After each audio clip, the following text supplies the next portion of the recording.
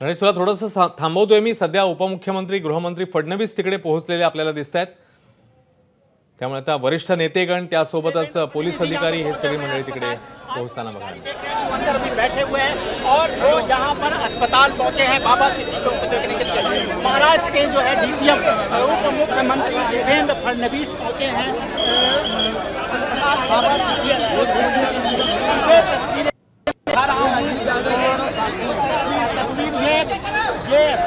अस्पताल बाहर की जहां पर देखिए किस तरह से देवेंद्र फडणवीस यहाँ पर पहुंचे हैं साहब इंसाफ चाहिए साहब। साहब इंसाफ चाहिए। साहब इंसाफ चाहिए। साहब इंसाफ चाहिए। साहब इंसाफ चाहिए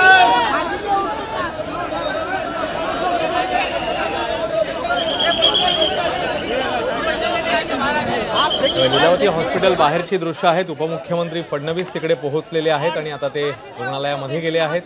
अधिक तपशील ते जाणून घेत के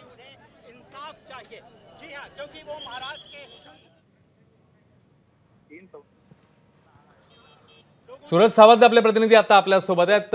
सूरज तुझ्याकडे काय ताजी माहिती आहे आता? अश्विन आतापर्यंत जर पाहिलं तर दोन आरोपींना जे संशयित आहेत त्यांना ताब्यात घेण्यात आलेला आहे. आपण जो फोटो पाहताय त्याचा जो मधला व्यक्ती आहे तो एक आरोपी असल्याची माहिती ही प्राथमिक पोलिसांकडनं देण्यात आलेली आहे एकूण आतापर्यंतच्या तपासात तीनही आरोपी हे युपीतून आली असल्याची माहिती ही पोलिसांकडनं तपासात समोर आलेली आहे. त्यामुळे या घटनेचं गांभीर्य वाढलेलं आहे की नेमकी कुणी आणि कशासाठी ही हत्याचा प्रकार देण्यात आलेला असल्याचं कळत आहे महत्वाचं म्हणजे विधानसभा निवडणुका तोंडावर आहेत आणि अशातच आतापर्यंत दोन राजकीय जे नेते आहेत त्यांच्या आतापर्यंत हत्या झालेली आहे. वायकाळमध्ये सचिन कुर्मी यांची हत्यानंतर आता बाबा सिद्दीकी यांच्यावरती देखील फायरिंग करण्यात आलेली आहे. त्यामुळे एकूणच महाराष्ट्रात गृह खात्याचा वचक राहिला नाही ना असा देखील प्रश्न या ठिकाणी उपस्थित केला जात आहे. कायदा व सुव्यवस्था नेमका आहे का? हा देखील या ठिकाणी सवाल उपस्थित केला जात आहे. आपले आम या ठिकाणी फायरिंगच्या घटना घडतायत कुठेतरी राजकीय नेत्यांना टार्गेट केलं जात आहे. त्यामुळे एकूणच कायदा व सुस्थितीचे प्रश्न उपस्थित राहिलेला आहे. तीनही संशयित आरोपी पैकी दोघांना ताब्यात घेणार असल्याची माहिती पोलिसांकडनं देण्यात आलेली आहे. अश्विन. सूरज ह्या दोघांकडून बद्दल अधिक तपशील कळू शकलाय का? कारण हे दोघेही जसं आपण म्हणतोय की शूटर असल्याचं कळतंय आणि एका गँगस्टरचा देखील याच्यामध्ये मोठ्या गँगस्टरचा याच्यामध्ये हात असू शकतो असं सूत्रांचं म्हणणं आहे. तर जे तीन होते त्यातले दोघे हे आहेत असं कळतंय. हे दोघांना नेमकं कुठे पकडण्यात आलं सूरज? या घटनेनंतर फायरिंगच्या घटनेनंतर त्या ठिकाणी हे आरोपी पळ काढण्याच्या प्रयत्नात असताना त्या ठिकाणी ताब्यात घेण्यात आल्याची माहिती पोलिसांकडनं देण्यात आलेली आहे. मात्र एक आरोपी हा अद्याप फरार आहे आणि या फरार आरोपीसाठी आता पोलिसांची तीन पथकं या आरोपीचा शोध घेत असल्याची माहिती ही देण्यात आलेली आहे. घटना स्थळावरचे सीसीटीव्ही फुटेज किंवा इतर काही जे काही पुरावे आहेत ते गोळा करण्याचं काम पोलीस करत आहेत. हे तीनही आरोपी युपीवरनं आले होते. अशी प्राथमिक तपासात समोर आलेला आहे. या तिघांना नेमकं कुठल्याही सुपारी देण्यात आली होती आणि त्याचं कारण काय आहे याचा आता शोध पोलीस घेताना पाहायला मिळत आहे. सूरज हे गोळीबार करणारे जे आहेत ते नेमके कुठल्या वाहनाने आले होते? या संदर्भात काही कळलंय? अश्विन हे नेमके त्या ठिकाणी कुठल्या वाहनाने आले हे कळू शकले नाहीये. मात्र या घटनेनंतर लोक पळत होते आणि पळताना या दोघा यातील दोघांना पकडण्यात आलेलं आहे. आमच्या पथक आलेला आहे. त्याची ओळख पटवण्याचं काम झालंय मात्र प्राथमिक माहिती आतापर्यंत तिघही चुकीचं आलेले आहे.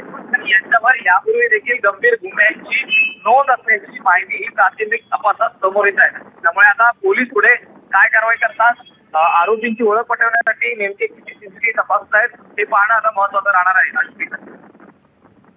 सुरेश तुझ्याकडनं माहिती घेतच राहू तुर्तास धन्यवाद या माहितीबद्दल. तेव्हा जशी आताची माहिती आहे दोघांना ताब्यात घेण्यात आला एकूण. अधिक चौकशी पोलीस करतायत. दरम्यान एक अपडेट त्यानुसार उपमुख्यमंत्री फडणवीस लीलावती हॉस्पिटलमध्ये पोहोचलेले आहेत आणि ते तिकडे अधिक माहिती जाणून घेत आहेत वरिष्ठ पोलीस अधिकारी देखील तिकडे आहेत.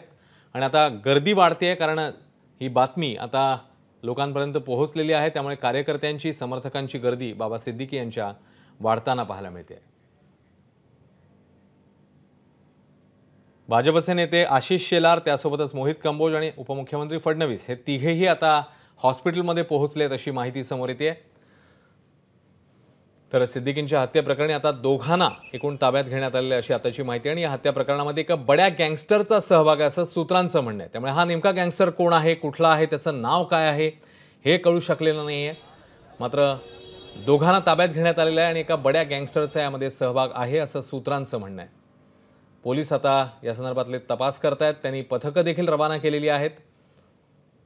गोळीबार करणाऱ्या दोघांना काही अंतरावरच जसं आपल्या प्रतिनिधींनी देखील सांगितलं ताब्यात घेण्यात आलेलं आणि आता या दोघांकडनंही अधिकची चौकशी सुरू आहे. मुंबई गुन्हे शाखेकडनं पुढचा तपास हा सुरू करण्यात आला ताब्यात घेतलेला एक हरियाणामधला आणि दुसरा यूपीमधला आहे अशी आताची माहिती आहे. मात्र त्यांची नावं काय आणि अन्य तपशील हाती यायचा बाकी आहे. तर एका मोठ्या गँगस्टरचा यामध्ये हात असू शकतो सहभाग असू शकतो असं सूत्रांचं म्हणणं आहे. त्याबद्दल अधिकचा तपशील येणं बाकी आहे. उपमुख्यमंत्री फडणवीस लीलावती हॉस्पिटलमध्ये पोहोचलेले आहेत. आणि या आरोपींचे फोटो आहेत. ज्या आरोपींपैकी एकाला किंवा दोघांना ताब्यात घेण्यात आलेलं आहे. आता हे तिघे नेमके कोण आहेत याबद्दलचाही अधिक तपशील अजून येणं बाकी आहे. खेरवाडी सिग्नलजवळ सिद्दीकींवर गोळीबार झाला. झिशान सिद्दीकींच्या ऑफिस परिसरातली ही घटना ऑफिसच्या समोर ह ही घटना घडली अशी माहिती आहे.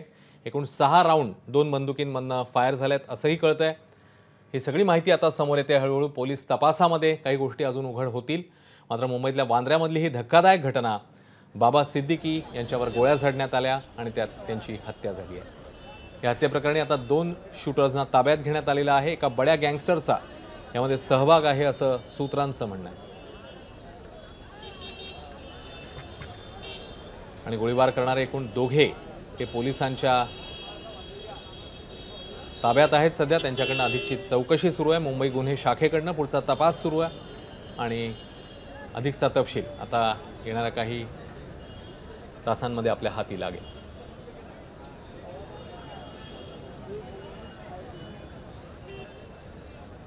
सिद्दीकी याच्यावर गोळीबार झाला अतिशय दुर्दैवी घटना आहे. आणि त्या संदर्भात मी डॉक्टरांच्या अगोदर बोललो होतो आणि पोलीस आयुक्तांशी बोललो.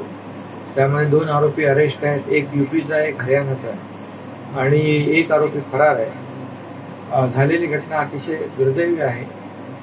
मी पोलिसांना निर्देश दिलेले आहेत की मुंबईमध्ये कुठल्याही परिस्थितीत कायदा सुव्यवस्था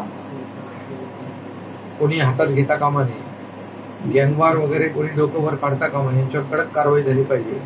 कठोर कारवाई करण्याच्या मी सूचना दिलेल्या आहेत. तर मुख्यमंत्र्यांची ही प्रतिक्रिया आलेली होती. कठोर कारवाईच्या सूचना देण्यात देण्यात आलेल्या आहेत आदेश देण्यात आलेले आहेत. मुख्यमंत्र्यांनी या संदर्भात माध्यमांशी संवाद साधला. मुंबईतल्या बांद्र्यामधली ही घटना बाबा सिद्दीकी यांच्यावर गोळीबार झाला. गोळ्या झाडून त्यांची हत्या झाली आहे. आणि या घटनेमध्ये एकूण तीन जण होते हल्लेखोर. त्यातल्या दोघांना ताब्यात घेण्यात आले अशी आताची माहिती आहे. आणि दोघंही हरियाणा आणि युपीमधले असल्याचीही माहिती समोर येते. बाबा सिद्दीकी एक वरिष्ठ मंत्री राहिले आहेत. राजकारणातला मोठा अनुभव त्यांच्या गाठीशी आहे. एबीपी माझा. उघडा डोळे बघा नीट.